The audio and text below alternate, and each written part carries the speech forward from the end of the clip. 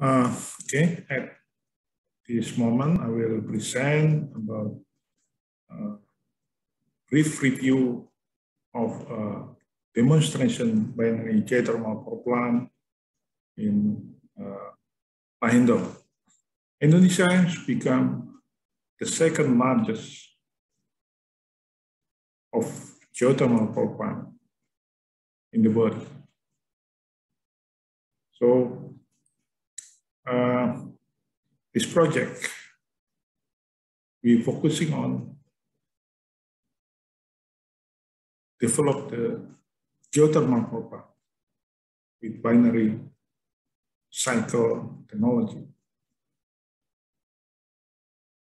Um, the demonstration plant of the binary cycle uh, power plants as the result of collaboration between Indonesia and Germany government since 2012. The brine water, we actually utilize brine water access from the uh, unit 3 and 4 belong to uh, PLN. So the brine water coming from the discharge from the steam separator to the uh, unit 3 and 4. The characteristic of the brine water, the temperature is 170 degrees C and the pressure 7.9 bar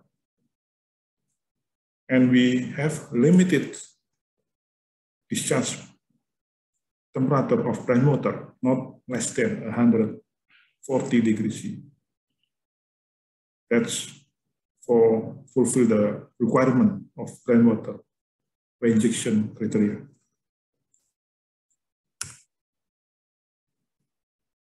The historical of the Lahendong demonstration plants. The project was initiated in 2012. And in the beginning of 2013, we start with the engineering. October 2017, start as operations. So we uh, try to make a reliability testing for long-term operations. This is the technology readiness level. This is the step to develop of the technology from the initial from the beginning of the lab scale to demonstration scale and then entering the commercialization. In the development and until demonstration plants, research institutions will be as the main portion in funding in the research. For the commercialization, the industry must be hand offer this step. So the business scheme must be developed in this stage. To develop a technology, we need to consider about the requirement in the commercialization. What is the requirement of commercialization? Why the demonstration plan is very important. The first, this is the product component for it's manufactured. And this one component need to be integrated into one system and we need to test it, the system. Not only individual tests, we need the system test.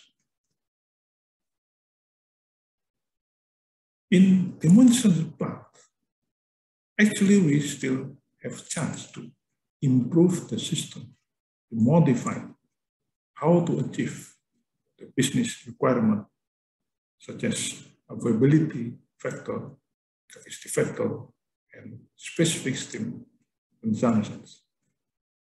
In this stage, business scheme need to be developed actually by the industry and other stakeholders. The demo plan need to be tested for reliability ranks. Actually from one um, major inspection cycle to uh, another major inspection cycle, meaning it's at least three years. We need to observe the characteristic of individual components about the maintenance, about the spare part. And this reliability run is very important to convince all the stakeholders that the demo plant is feasible to enter the commercialization.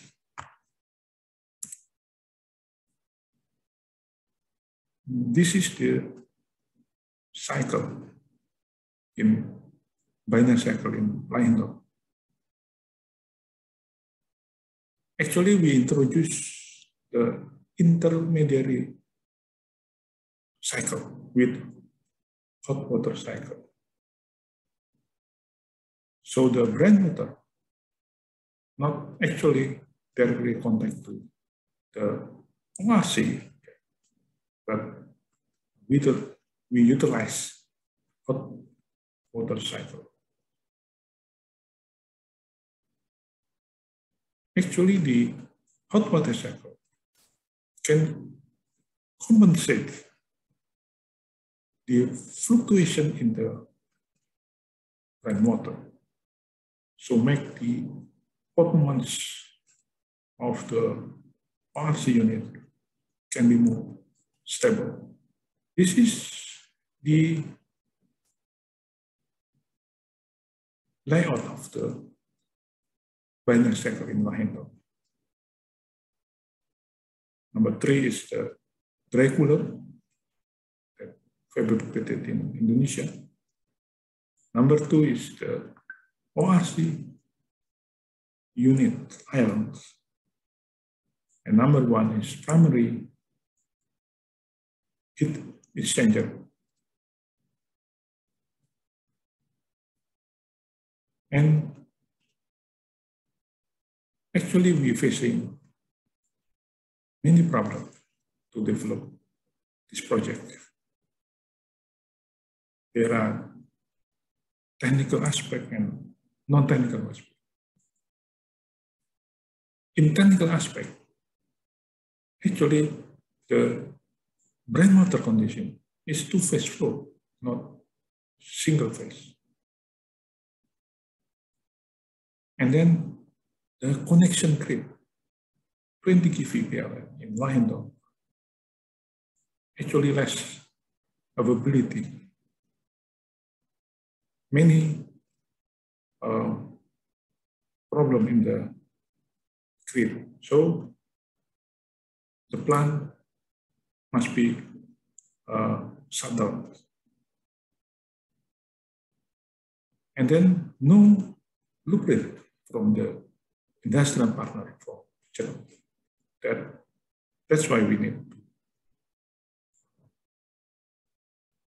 reverse engineering so we can uh, learn about the key technology of the steam turbine the non-technical aspects. We have limited research funding in geothermal research. And the second is local partner, especially for the industry. Usually treat the project as usual project, not as a product for further development, business development. Other challenges about the electricity regulation. Not easy to transform demo plant to commercial plants. You need to get SLO, certificate like operations. The requirement for SLO is not only technical aspects, not only the safety aspects, but other license. The manufacturer who produce the product must be certified. The EPC contractor who developed this project must be have uh, a certification. That's challenge. And then this asset, this is state-owned asset. Not easy to transform to other company. That's why not easy to transform the demo plant commercial plant. In terms of the performance of the plant, especially for the efficiency indicator, 9.1% and 400 kilowatts. Compared with other binary cycle power plants, indicate that the Lahendong seems uh, in good performance here. And then the availability and capacity factor of the plants. The next year, 2019, the capacity factor increased to 80%. And then the availability factor, 68. So the affirmative factor actually mainly affected by poor with quality in the line side. If the great problem, so the plant must be shut down. Then the conclusions. The demo plan actually has fabulous potential to replicate that. Geothermal filled with low Steam or available water. And the plant performance is satisfactory compared with other binary cycle in the world. And uh, the local content of the demo plant still requires improve with collaborate with local manufacturer. We need to reverse engineering these demo. So the local content can be improved. Brain coordinate research with uh, the stakeholder for accelerating the commercialization. Collaboration with stakeholder is required. And the demo plants in Lahendong actually has a huge potential to become a commercial plant in terms of the efficiency and then other technical aspect. I think that's uh, all my presentation. And thank you for your attention.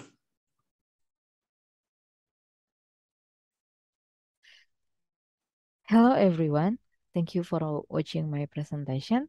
I'm Dinda Permatasari, and I'm from student of Geothermal Master Program, Bandung Institute of Technology. In this opportunity, I would like to share our paper with the title Wellbore Flow Geothermal Used in Topaz Well, a review and comparison. In connecting this research, I am also supported by Bu Neni Miryani Saptaji, Bapak Dimas Taha Maulana, and Adrian Tawakal. This is the outline in our presentation. The first introduction and two-phase geothermal wells, analysis and discussion, and the last, we will deliver some conclusion and reference. Let's start with introduction. Geothermal wellbore flow is one of the methods used by experts to inform and validate data from geothermal wells that will be used decision making and the management of geothermal research. Zulfar Garosan and Kamechi 2020 they say that Wellbore flow is also used to predict scale precipitation and deposition during drilling and modeling production. Many geothermal wells produce topaz flow and based on observation of oil and gas wells have the same flow pattern as geothermal wells. So to model this type of well can be studied from several studies that discuss topaz flow. The most studied studies on two-phase flow from oil and gas wells have been investigated by Lockhart and Martinelli since 1949, Duns and Ros since 1963, Hagedorn and Brown 1965, Orkiszewski 1967, and this at all 1972, Beggs and Brill 1973, Freeston 1977, and Hassan and Kabir, 1999. This is uh, our research goals. The first to analyze topaz flow condition in geothermal wells using field data and several wellbore models. The second to compare analyze result with the actual pressure drop measurement to determine which correlation best fits the condition based on the top-down and bottom-up models. This is wellbore model to pass in geothermal wells from Lockhart Martinelli 1949, Lockhart Martinelli predicts a pressure drop in a two-phase flow with different properties and velocities. The Lockhart and Martinelli method was developed by relating experimental data uh, generated in a horizontal two-phase isothermal flow of a two-component system, air-oil and air-water, at low pressure net atmosphere in a 1-inch diameter pipe. Rizaldi and Zarok 2060 have applied Lockhart-Martinelli method for estimating a pressure drop in topaz flow geothermal pipelines applied to field data from the Lahindong geothermal field Indonesia. The results show the Lockhart-Martinelli method was less accurate in predicting the topaz pressure drop in all pipe size. The correlation were inconsistent in predicting to pass pressure drop in both small and large diameter pipelines. The second topaz flow in geothermal wells from Dance and Ross since 1963. Dance and Ross predict and analyze variation along the well. Although this method was developed to calculate pressure drop with dry oil or gas mixture. Probst et al. Since 1992, model pressure drop simulating geothermal production well using various correlations such as Ansari, Bax and Brill, Orkiszewski, and Dance and Ross correlation.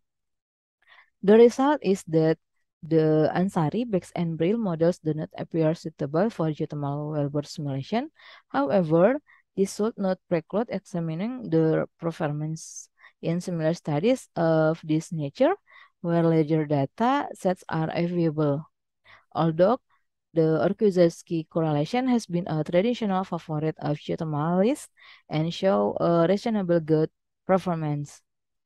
It is suggested that the Duns and Ros correlation should be used instead because of the anomalous behavior it can exhibit. Then, uh, two-phase flow in geothermal wells from Hagedorn and Brown. Hagedorn and Brown developed an empirical correlation using small diameter 1500 feet vertical test wells.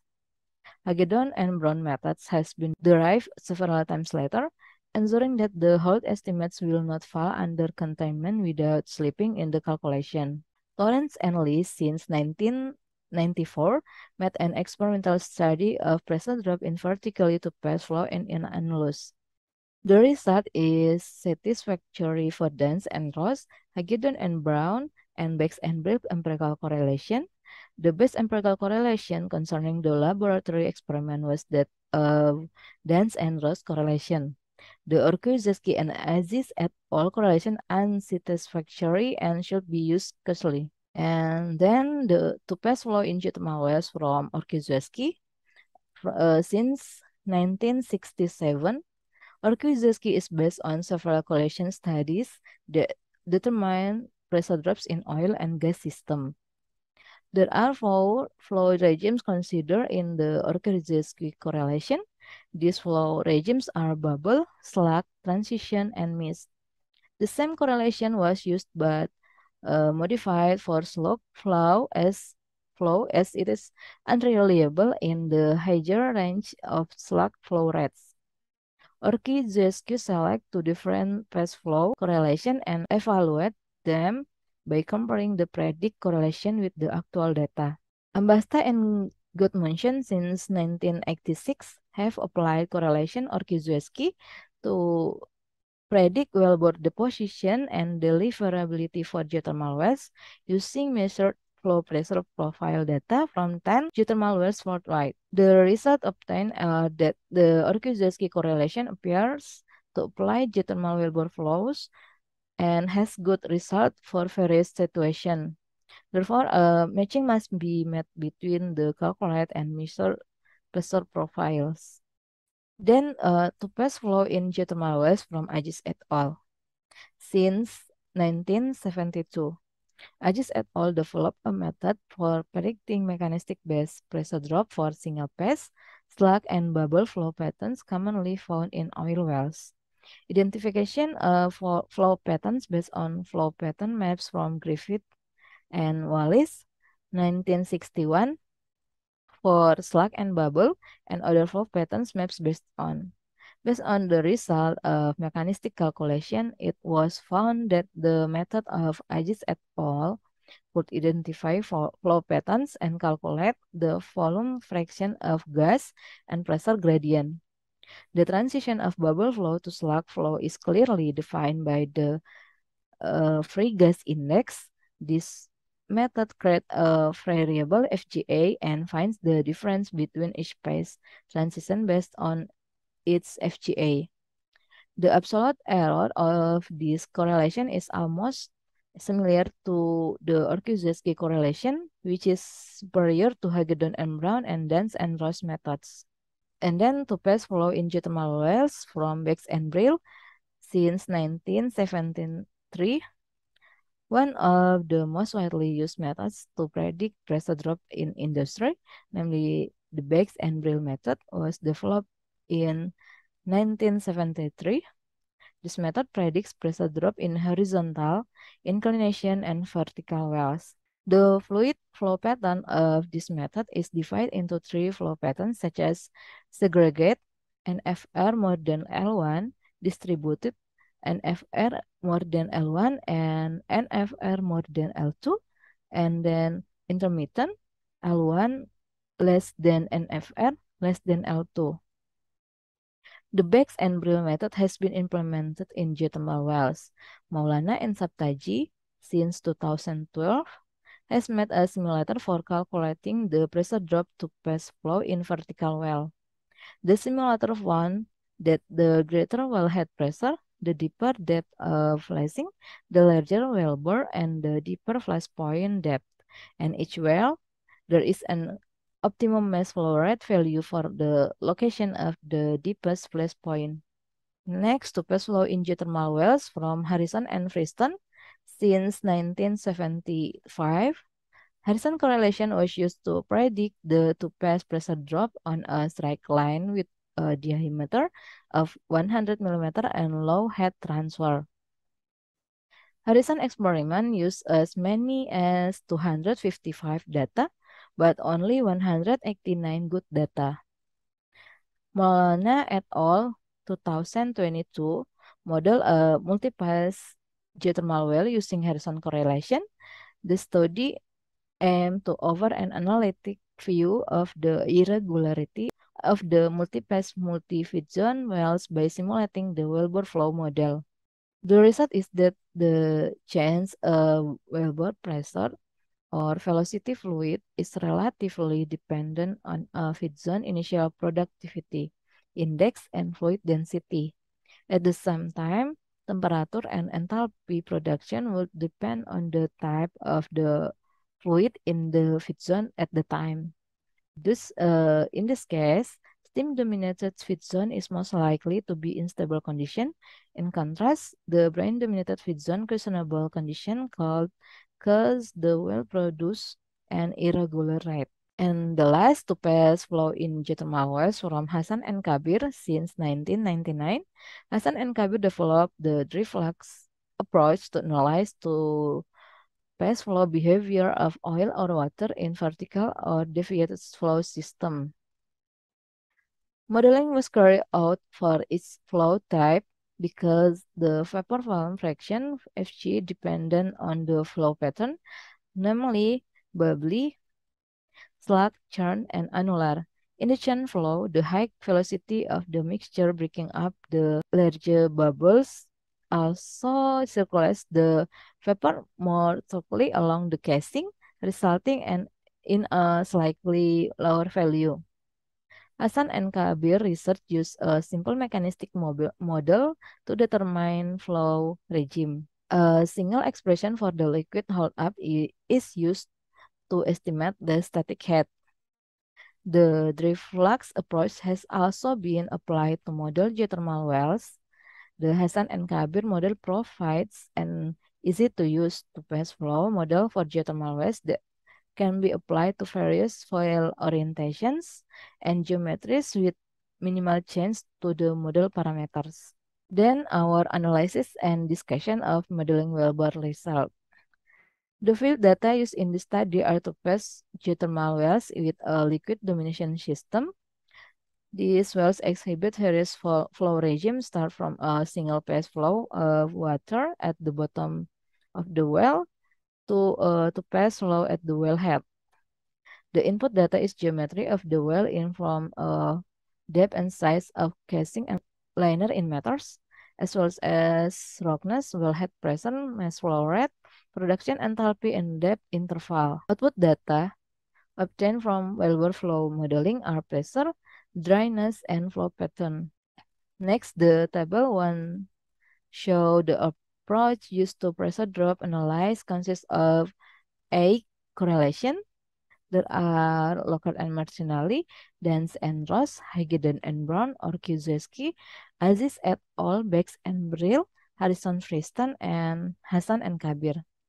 Next, this is our result of modeling wellbore that are figured 1 and 2.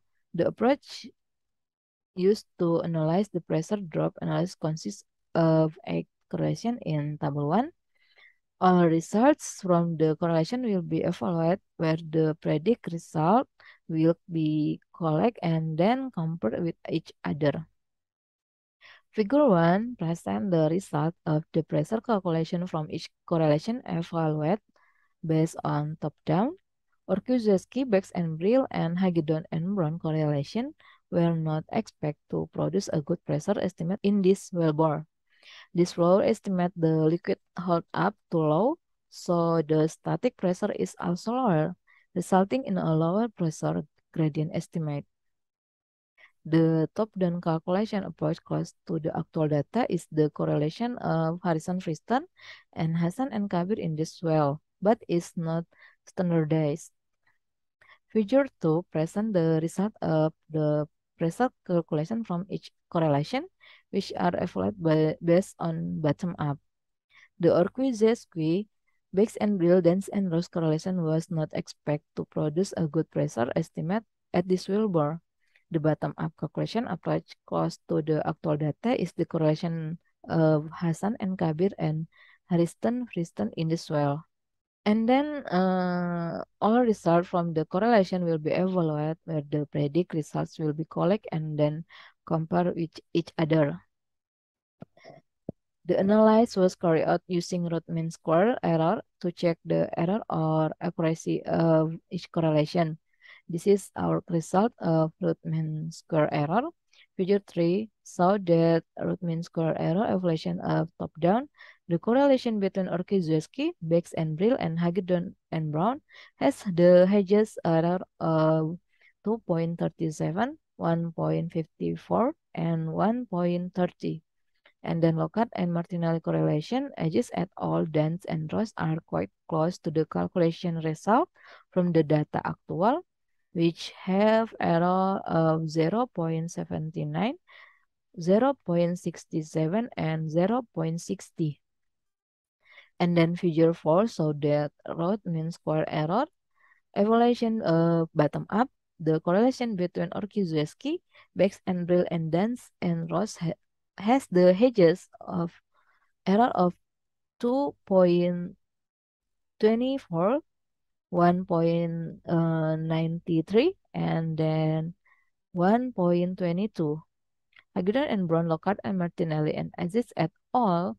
are quite close to the calculation result from the actual data, which has error of 1.8, 0.41, and 0.40. Next, uh, the cumulative effect of the bottom-up and top-down pressure drop result significantly diverse, where the bottom-up approach produce a significantly higher pressure loss, so the resulting wellhead pressure is lower than the actual data. In comparison, the top-down approach result in lower pressure loss and higher pressure in the well than in the actual data. This correlation for two phase in oil and gas, gas and liquid, gas and oil wells can be applied to geothermal wells with two phase, namely gas and liquid, depending on the observation data and the well's physical condition. Well, this is conclusion of our observation found that the correlation gives the most accurate prediction depends on the observed data and the well's physical condition. Hassan and Kabir and Harrison Friston gave a good prediction of the correlation, while Orqui-Zariski and Baix and Brill gave a poor prediction in the case of this well. And on the other hand, the Harrison-Friston correlation shows a good prediction even when used for vertical wells. This evaluation still needs to be validated through further studies with a large amount of data and considering other essential parameters such as the chemical composition of the liquid. And then this is our reference of the paper. I think that's all from us and thank you for watching and thank you for attention.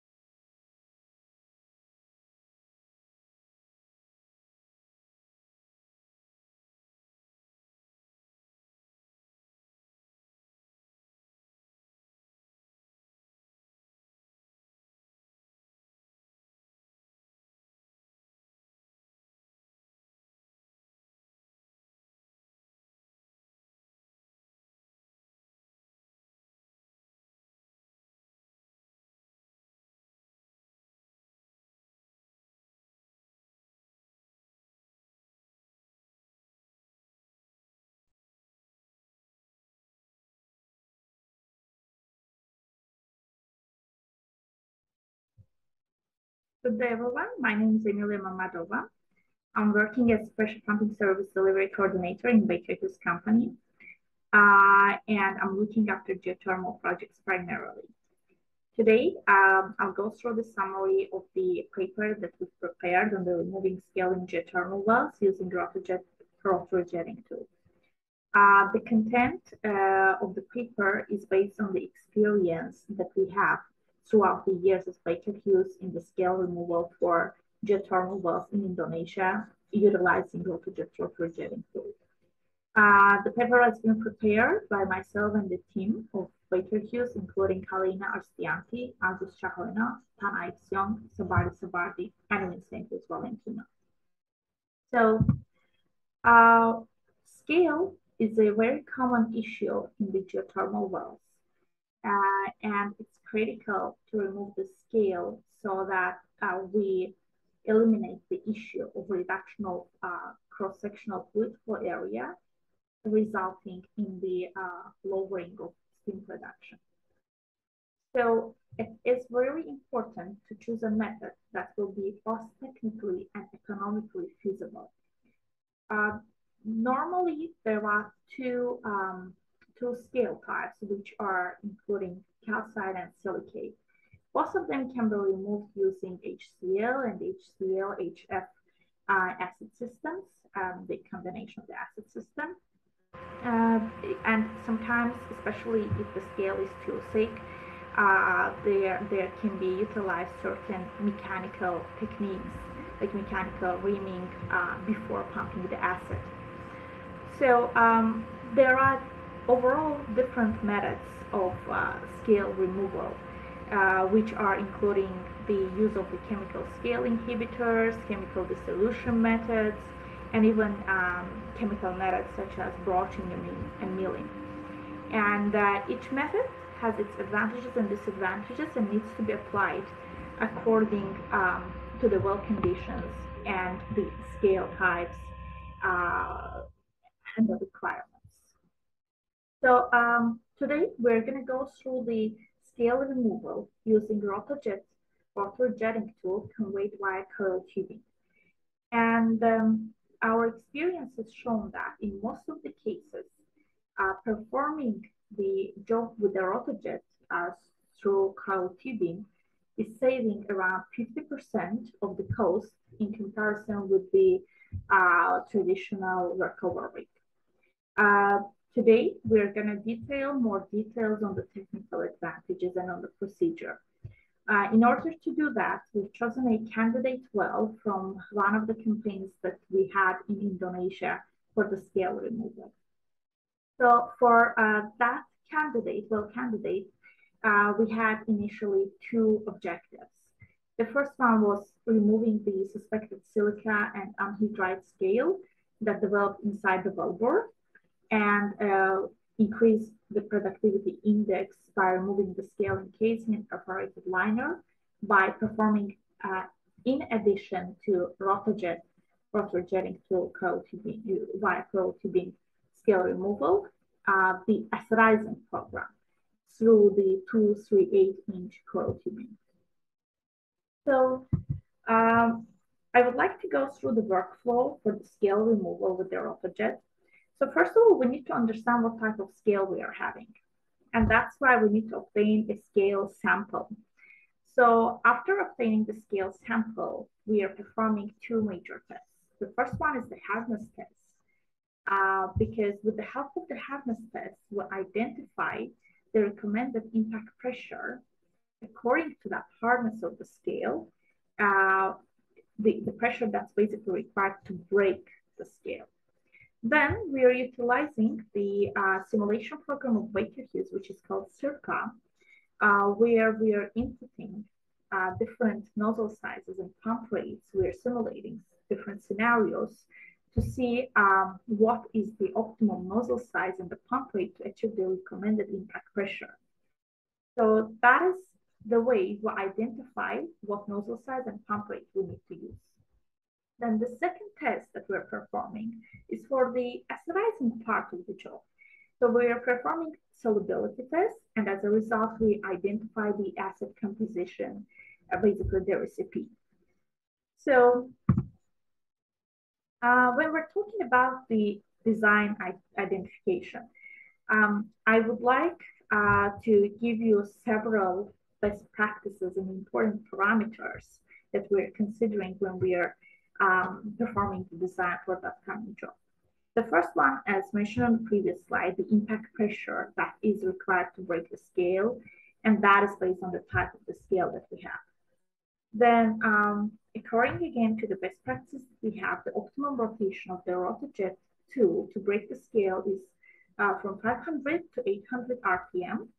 Uh, and for the hard scale, it's between 300 and 600 RPM. The sufficient pump rate enabled is enabled by using uh, 238 inch or a larger size coil tubing uh, and pre-job cleanout simulation using program breaker circa simulation software is required to ensure that uh, we have all the required parameters for the job. So um, generally, when we are talking about rotojet, so um, the way it works is that it is introducing a targeted destructive stress stress cycling to the uh, downhole deposits. And uh, with each pass of the jet stream, surface crack, uh, stream, surface cracks are briefly pressurized to induce local tensile strengths on the scale. And this stress cycling occurs several times each second, shattering vital scale into small particles that are easily transported to the surface. So if there is a significant scale accumulation, then um, the rotojet tool can be utilized uh, after an initial pass with the motor and the mill. So uh, the, there are two mold configurations of rotojet, uh, of rotojet tool. One is directed down at 45 degrees uh, to the tool axis and the other one is at 90 degrees or we can call it as perpendicular to the tool axis. So basically, uh, to, to describe the difference between mold configurations, uh, the 90 degrees side jet nozzle offers the least standoff distance, uh, thereby generating the most uh, jetting energy. However, side jetting has limited effectiveness at uh, cleaning in front of the tool. Uh, and if cleaning in front of the tool is required, then 45 degrees down jet nozzle should be run. So therefore, uh, when we're designing the job, we are utilizing both stages. So first, we are uh, running 45 degrees rotojet so that we provide the access to the well bore and then 90 degrees rotojet uh, tool cleans holes in the perforated production liner. And in between, we're performing the acidizing operation. So um, basically effective job design for the rotojet tool in geothermal well requires knowing the scale composition, its hardness, minimum deposit drift diameter, depth, bottom hole pressure, temperature, the type of the well and environment, whether there is any H3S, if there is any CO2, the type of the fluids to be pumped, if there is any junk in the hole. Um, and also we need to know the completion details, including the depths, minimum restrictions, uh, wellbore internal diameter, and the survey. So uh, basically, uh, when we performed the uh, job on the well candidate, we have managed to um, we've managed uh, to perform the job without any incidents as per the plan.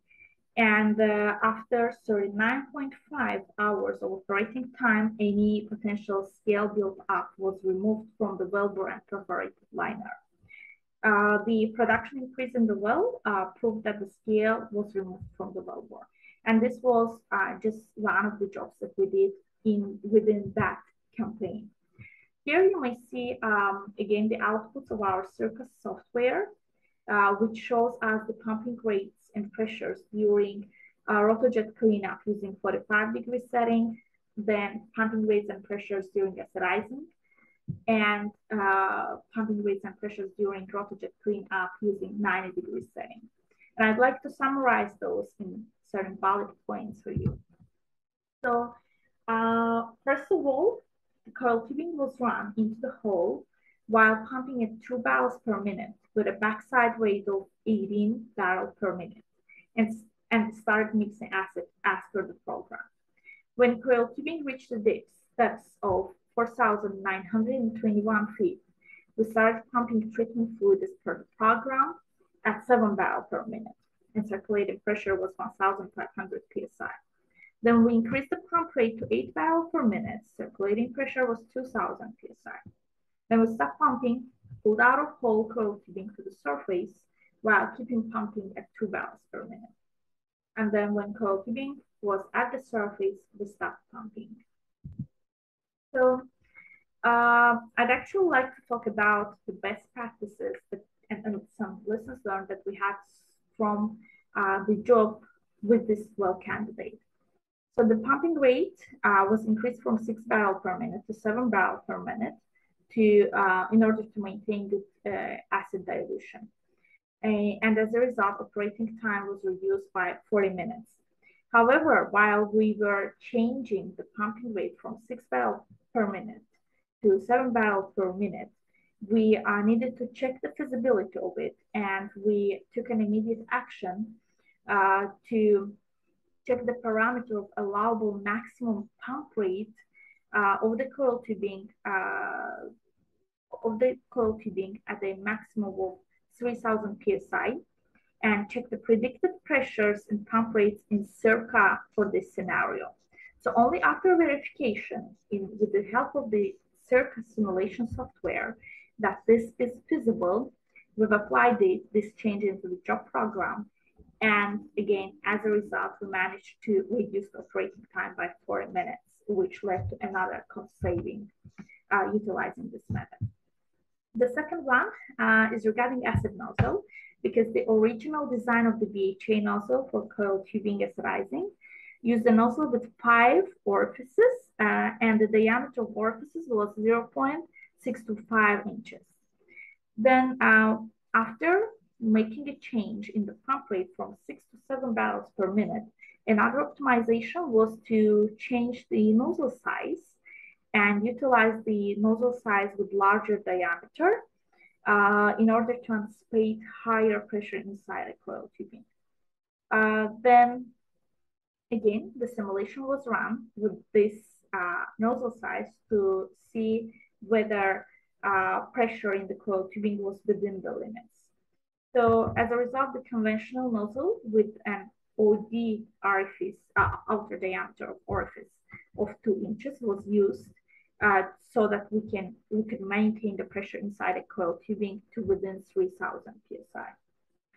Then another um, best practice throughout um, all the jobs that we captured is avoiding any debris in the flow meter and the tanks. For that, we need to clean the tanks and flush the lines from the tanks to the end of the coil tubing all the time before, as part of the job preparation.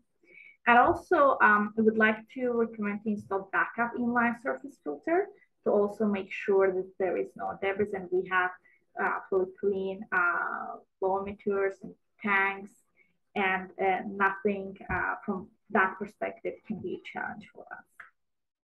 So um, to summarize, uh, basically, again, there are different methods of scale removal and uh, many of them can be utilized according to the requirements, according to the well conditions. However, the main target is to choose a method that is both technically and economically viable. So um, for that reason, we've been utilizing in numerous jobs, in numerous wells, uh, scale removal with rotojet, uh, rotojetting tool, uh, conveyed wire coil tubing.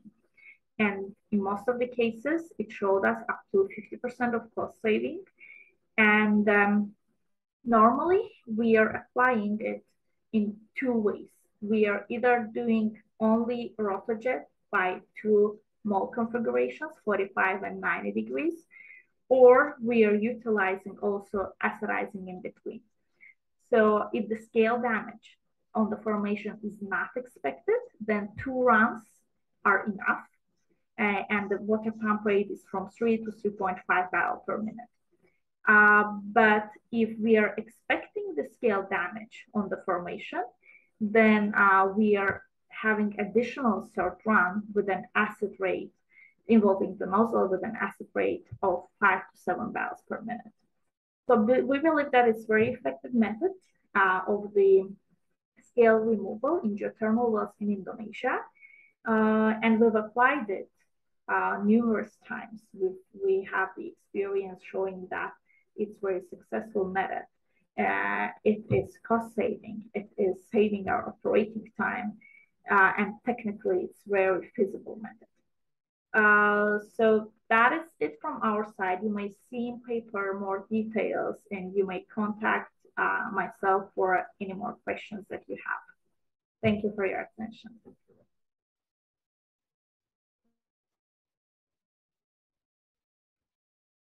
Greetings for everyone.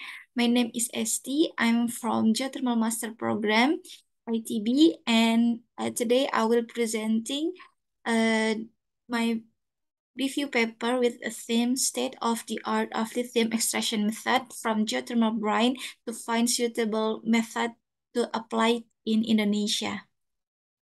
This is my outline.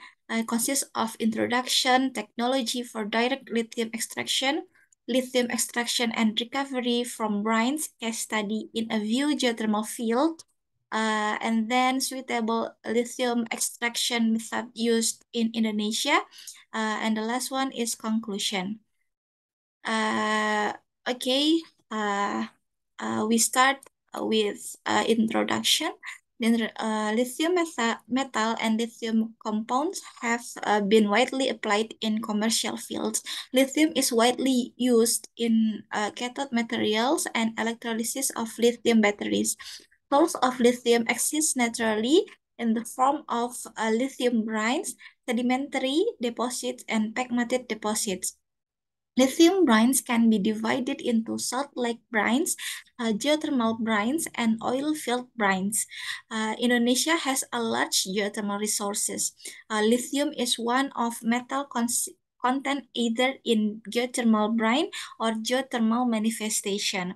Uh, this paper gives a review lithium extraction method in geothermal brine from some uh, geothermal fields and aims to provide a summary of knowledge, method, and technology and technique of lithium extraction from geothermal brine that is already been used uh, and to find out which extraction method possible can be used in Indonesia.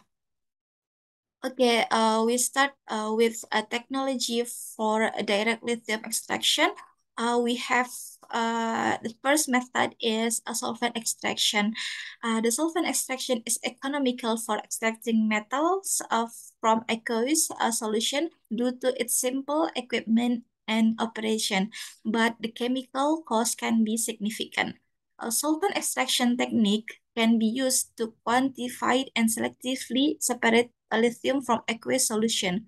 Uh, separation is difficult if the component of the mixture have similar uh, physicochemical properties. Uh, the use of large volume of organic solvent has an adverse environmental impact uh, due to the toxicity, corrosiveness, volatile in nature, and flammable that contribute to the air, land, and water pollution. Uh, uh, previous studies report extraction with tributyl phosphate can separate the lithium and magnesium uh, ions from salt lake brine. Uh, the extraction efficiency recovery uh, of lithium up to uh, 18 uh, 80.64 uh, percent and 99.4 uh, 42 uh, percent by a single stage and a three-stage uh, counter current extraction. Uh, and then we continue with uh, adsorption and ion exchange. Uh, the ion exchange is a major technology technique uh, for recovering strategically important elements from low-grade resource. Uh, some of advantage of the the ion exchange process include a simple design, uh, efficient, uh, commercially uh, applicability to dilute feeds, ability to achieve high concentration factor, and no loss of separation medium to the, uh, the environment. Uh, the adsorption process, process shows uh, the low cost and high selectivity of lithium recovery method. However, uh, the use of acid and oxidant as desorbing agents make this method difficult to apply uh, on a large scale due to the significant loss of exchange capacity at the desorption process. We et all restructured uh, the titanium uh, oxide-based adsorption uh, adsorbent to be uh, fibrous. Uh, they reported that when synthetic brine uh, was used, uh, the L uh, lithium adsorption capacity of the uh, H2 uh, T5O12 adsorbent fibers produced was uh, 59.1 uh, milligram per gram. And then uh, we continue, uh, the third one is membrane. Uh, the large scale application of the membrane distillation with long operating life has revealed uh, some challenge in the membrane distillation process. This include membrane fouling, scaling, and pore wetting, which may limit uh, their commercial use. Uh, when when at all uh, reported on the application of nanofiltration for uh, lithium ions recovery from brine used uh, spiral wound uh, membrane cell 5DL uh, with type uh, 5DL uh, 254 uh, which showed uh, that M, uh, magnesium retention in the range of uh, 61 until 67%, whereas uh, lithium ions was passed through the membranes uh, and resulted in a lithium per uh, magnesium separation factor uh, with value uh, 3.5. Uh, the cost of the membrane distillation system operating may vary from uh, 0.26 to 113 uh, dollars per uh, meter cubic uh, based on the optimum flow condition and membrane distillation configuration. Uh, and last one, uh, we have uh, electrolysis. The electrodialysis is a process that uh, consists of ion transportation through selectivity membranes under the influence of an electric field, which provide uh, the, the energy to move uh, and separate uh, ions or change molecule ion uh, are transferred uh, from a substance less concentrated to a substance more concentrated. Electrodialysis cells uh, work attracting cation to the to a negative electrode or cathode uh, where a reduction, a reduction reaction take place. Uh, well, while anions uh, will be attracted to the positive electrode, uh, we call anode, uh, where an oxidation reaction take occurs. Uh, these electrodes are conductor materials that permit uh, the current flow besides uh, they are built with a neutral material to avoid uh, degradation. Khalil et al. recovering uh, lithium from high uh, magnesium brines through electrochemical methods by LEMN204 and LEMN204 as electrode materials. Uh, the system provide a rejection rate of impurity as high as uh, 97% with a lithium recovery of around uh, 1830.3 uh, percent with a stable lithium intercalation capacity. Uh, and now we continue with uh, lithium extraction and recovery from brines, uh, case study in a view geothermal field. Uh, we start with uh, salt source uh, geothermal uh, EGS in, in France. Uh, the geothermal uh, the the source uh, source forest geothermal uh, is located in uh, northeast of France uh, with uh, 15 50 kilo, uh, kilometer uh, northeast of Strasbourg has uh, and the geothermal uh, this geothermal field has fluid dominated system with pH value is 5 and NaCl uh, fluid type. Uh, the crystalline basement at uh, salt source uh, forest consists of paleo Paleozoic granites. In this case, uh, they use a combination of precipitation and solvent extraction method to efficiently extract uh, lithium ions from geothermal fluids. Uh, the first steps uh, of the process is the removal of most divalent cation and the silicate uh, ions from the geothermal fluid. Uh, the second step of the process is the selective uh, extraction of lithium ions by ion uh, solvent extraction. Uh, the salt uh, forest geothermal fluid is reported uh, to contain TDS of uh, 90, 9,500 uh, gram per liter, uh, the high value of TDS can decrease the electro uh, extraction efficiency of lithium. Uh, hydraulic simulation can increase the TDS of the production fluid due to the geochemical reaction.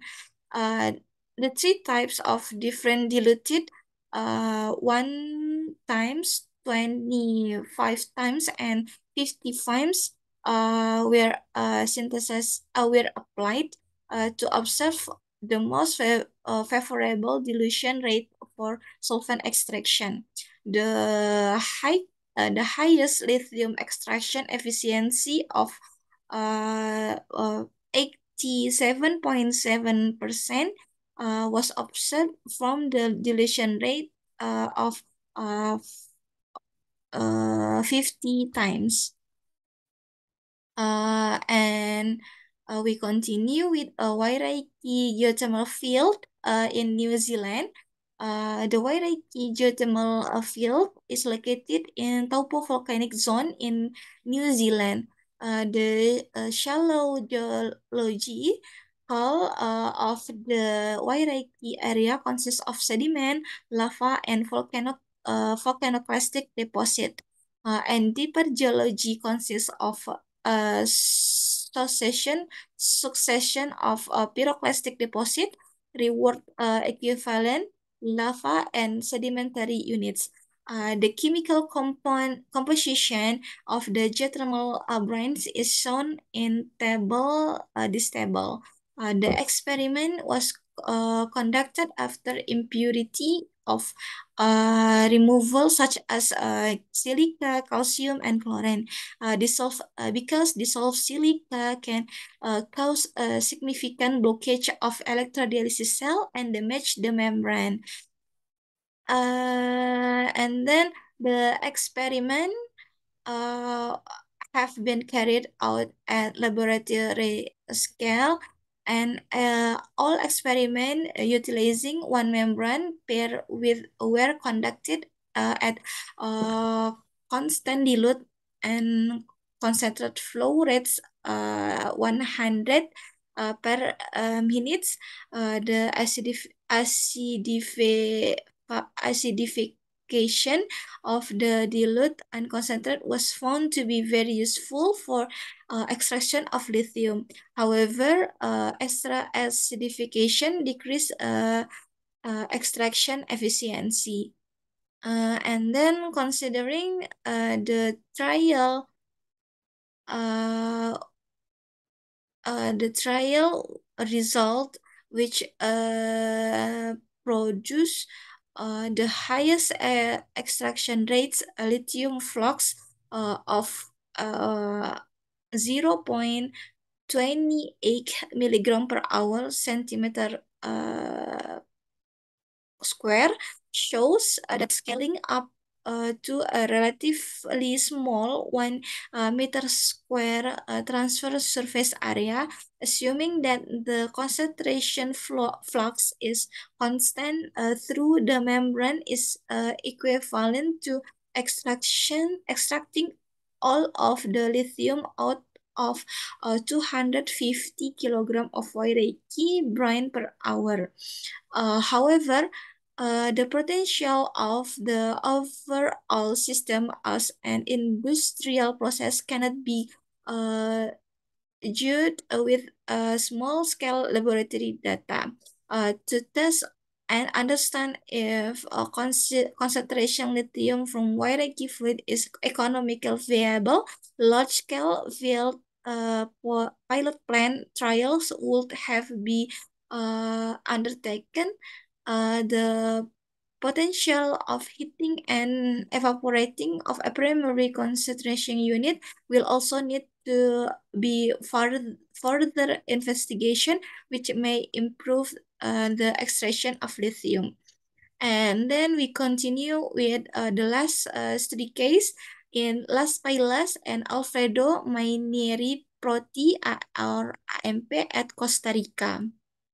The geothermal of this geothermal field uh, is located in the Cordillera de Guanacaste in northwestern Costa Rica and the southern flank of the uh, Rincon de la Vieja volcano. Uh, the LP and AMP uh, geothermal field are two high enthalpy geothermal fields and liquid dominated system. And the electrodialysis cell was filled with a geothermal brine and the sample were taken from LP and AMP uh, AMP geothermal injection brines. Uh, a scale model uh, was built with a three anionic and three cationic membrane uh, and the membrane uh, used in this first cell were CMI uh, 700S as cationic membrane and AMI uh, 7001S as anionic membrane. Uh, and after uh, electrolysis stage, uh, concentrate uh, brine was obtained for both uh, geothermal field samples. Uh, the quantity quantitative uh, analysis through the ion uh, chromatography and alkaline uh, titration were conducted to determine uh, the final concentration uh, species uh, that we uh, look at the picture uh, the, and the table. Uh, the concentration of uh, lithium uh, is increased uh, by the electrodialysis uh, method uh, and all species uh, except calcium increase uh, in uh, concentrate uh, brines. And we continue uh, with a discussion uh, at suitable lithium extraction method uh, used in Indonesia. Uh, Hochstein and Sudarman in Herdiania, Herdianita classify Indonesia geothermal system uh, uh, into six types uh, and such as uh, name, uh, vapor dominated system, volcanic uh, geothermal system with a magmatic steam plume uh, surrounded by natural pH hot fluid, fluid uh, and then vapor uh, layer system with partial uh, liquid saturated layer on top and liquid uh, saturated uh, substratum uh, and then uh, vapor uh, layer in the setting of a volcanic uh, geothermal system. Uh, the next is a liquid dominated system with major fault zone. And the last one is liquid dominated system beneath a volcano uh, associated with a concealed outflow plume. Uh, the liquid dominated system, geothermal fields in Indonesia, such as uh, Dieng and Wayang Windu are estimated to be high in lithium minerals content in geothermal brine. Uh, in contrast, uh, steam-dominated systems such as uh, Kamojang and Darajat have low lithium uh, mineral content. In addition, a non-volcanic geothermal system such as Limbong and Bituang appear to have higher uh, solubility of uh, lithium in hot spring water than volcanic geothermal system. Uh, uh, this uh, as a surface manifestation uh, this can be assumed that concentration of lithium controlled by a lithology of the reservoir. Uh, host rock uh, such as granite, granodiorite, and sandstone uh, contribute uh, significantly to the lithium content of uh, hydrothermal fluid uh, compared of metaf uh, metamorphic and volcanic host rock. Uh, so, uh, salt source of foreign uh, geothermal field that uh, have uh, we discussed above, uh, this geothermal field uh, have a significant uh, lithium content from uh, the brine. It was uh, formed by a tertiary reef system and the crystalline basement consists of uh, Paleozoic granites uh, it can be assumed that a high content of lithium uh, just because of Paleozoic granite uh, as the host rock of the system. Uh, precipitation uh, and solvent extraction had uh, a high uh, recovery value uh, based on literature uh, geothermal field in Indonesia that have a high concentration lithium mostly has a volcanic lithology such as Dieng and Wayang Windu, uh, which have uh, 32 until 68 uh, milligram per liter in Herdianita. When we combine uh, the method, uh, it become an efficient method. Uh, uh, there are first stage we can use the precipitation and then electrodialysis method to increase the uh, extraction like uh, this previous study case in LP and IMP uh, can increase uh, the lithium uh, concentration up to 66%. Uh, and the last, uh, last stage, uh, we have a solvent extraction uh, that can recovery uh, the lithium up to uh, 87.7%. And we have conclusion about uh, this uh, review uh, is uh, solvent extraction become a promising method to develop uh, development the direct uh, lithium extraction technology from geothermal brine and it could uh, reduce uh, the need of uh, for extensive pretreatment process and simplify the extraction pro process.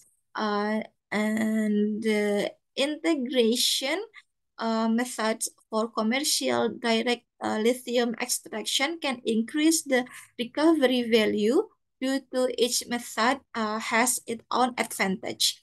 Uh, and then it it is clear that lithium extraction from geothermal brine is becoming technical, uh, technically feasible, and the development of a suitable, sustainable process uh, that serve as the foundation uh, for a low carbon economic uh, that relief that relies on lithium remains a challenge. Laboratory research cannot answer an important question about the development of a natural lithium extraction process and the extraction of lithium from geothermal is costly on a large scale using real brine. This is the challenge for us to make an experiment on the extraction lithium uh, from geothermal for uh, large scale and using the real brine. Uh, and this is my reference. Uh, and thank you for uh, your attention. and watching this uh, presentation. Uh, we hope I hope this uh, presentation uh, will give a contribution with uh, in extraction lithium in Indonesia. Thank you.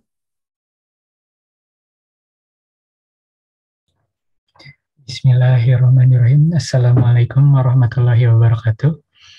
Uh, thank you for the opportunity to join uh, ITB International Geothermal Workshop 2022. First of all, let me introduce myself first. My name is Irfan Berrizki Hermawan, and today I would like to share what uh, I and uh, my team has done about our research related to micro earthquake in geothermal field. So this is the title of my presentation preliminary estimation of geological structure based on Rakata Center of Micro Earthquake case study at X geothermal field. So let's begin. So this is the outlines of my presentation. Uh, we will start from introduction and then geological setting, materials and methods, result and discussion, and the last one is the conclusion of uh, our research. Okay, introduction. So as you know that geological structure has main role to uh, understand uh, how geothermal system work. And generally, uh, analysis of this geological structure is carried out by remote sensing method, uh, geological mapping, and gravity analysis. We know that uh, that these these methods uh, can provide well about the distribution of geological structure, but can determine whether the structure is active or not, whether the structure is act as uh, open fracture or sealing fracture. So in this study, we try to uh, use, uh, we try to analyze the occurrence of micro earthquake in next geothermal field to identify the distribution of the active faults and to improve our result. We try to improve uh, the hypocenter of micro earthquake events using double difference method and also using waveform cross correlation method to obtain a better trend distribution, which will lead to a better understand about geological structure in the geothermal field. And then we move to geological setting. So uh, X geothermal field uh, is located on Java Island, which is affected by subduction zone of Eurasian plate and Indo-Australian plate.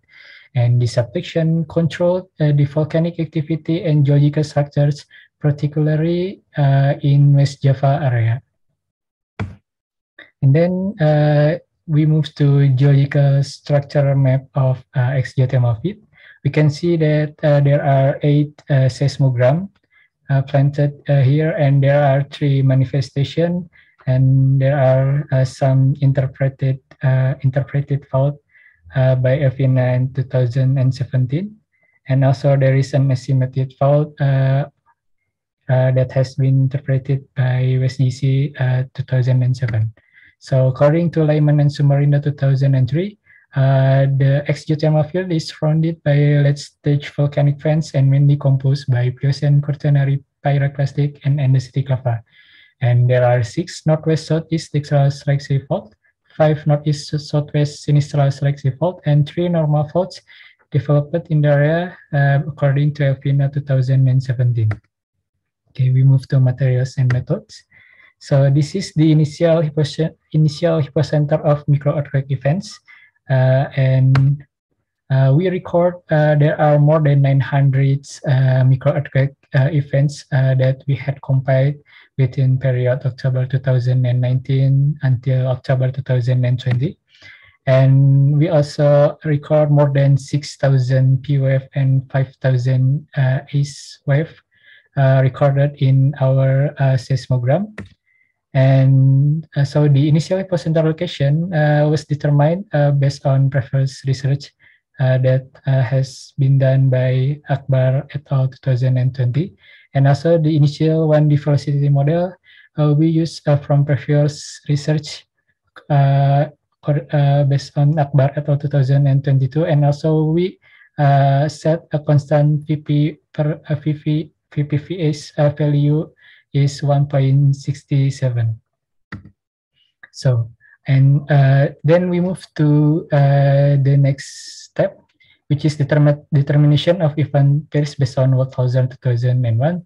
So uh, in this step, uh, we uh, try to create a group of event pairs based on distance between hypocenter. So, uh, and also we set the maximum distance between event pairs was set to two kilometer, which means that uh, any uh, hypocenter that uh, formed uh, below the maximum distance will uh, created as as a one group of event pairs. And then the next step is waveform cross correlation method based on Schaff 2000, uh, 2005. In this method, uh, we try to determine event pairs, but uh, we try to uh, create a group of event pairs based on their waveform similarity. So in this step, we uh, sampled all of the waveforms at uh, 100 hertz, and then we set minus 0.1 and plus uh, 0.3 second window lengths uh, for POF and uh, minus, 0.1 and plus 0.2 second window length for SWF. And then all of the signals are filtered using bandpass filter 3 to 20 hertz for POF and 5 to 15 hertz for SWF. And also we set a minimum correction value of 0.8 to the, get a strong link between waveform pairs. And then uh, all of event pairs uh, from determine uh, from determination event pairs and waveform cross-correlation used as uh, input for relocation method. And then we move to result and discussion.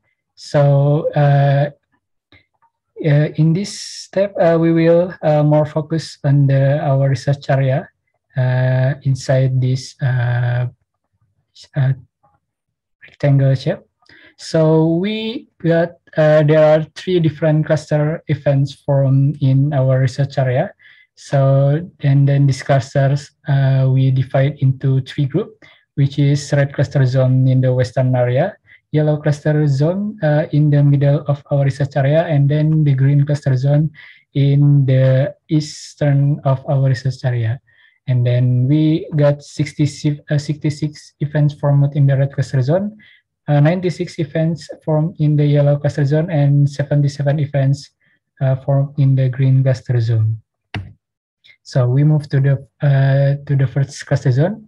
Uh, so in red cluster zone, uh, there were formed there were formed two different trend hypocenters that conjugated each other which the first one is in the northwest southeast trend and the second one is the northeast southwest uh, trend. So uh, hypocenters with northwest southeast trend uh, they they were distributed at an elevation of 53 to 674 uh, while the hypocenters with northeast southwest they form uh, at the shallower elevation at elevation of uh, one 533 to 1,611 meter above sea level. So there was a research conducted by Fauzi et al. adopting a model from Corbett and Leach 19 and 98 he said that uh, particularly in West Java, there is a characteristic of structure with northwest southeast trend in different elevation conjugated with northeast southwest trend at shallower elevation. And this structure uh, acts as permeability for fluids entering the reservoir and also control the distribution of its source and volcanism in West Java.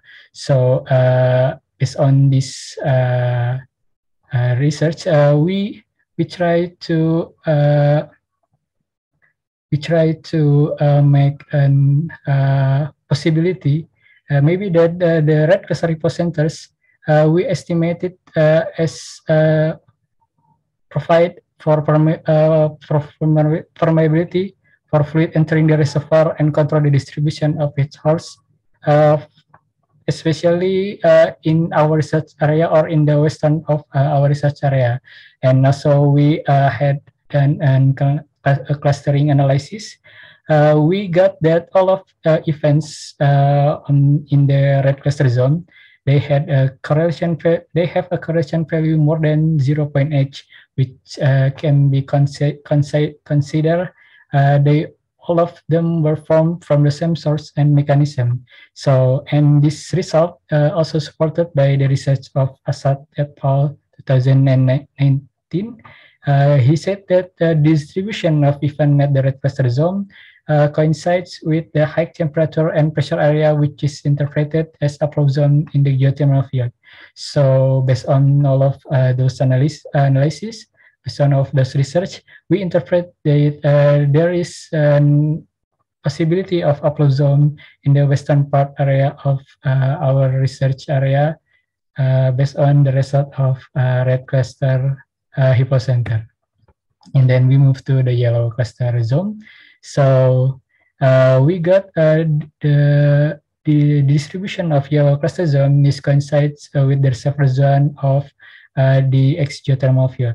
And based on the analysis uh, analysis of uh, Assad et al. 2019, is it estimate and based on the analysis of Assad et al. in 2019, we estimate that the micro earthquake um, events formed in the middle area they were triggered by the activity of the flow zone. And as uh, we can see that there is a different color uh, in this picture. There, there uh, is the the first one is the younger purple, and and the second one is the older purple.